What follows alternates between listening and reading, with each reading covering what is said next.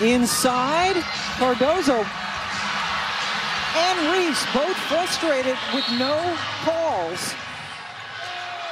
Oh, and T Spoon got teed up. Came well out onto the floor. It's our third technical called in this game. All of them against Chicago. Mabrey was called for one in the first half.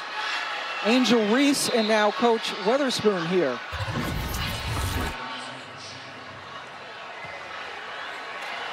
She's mad because of the contact on Angel Reese.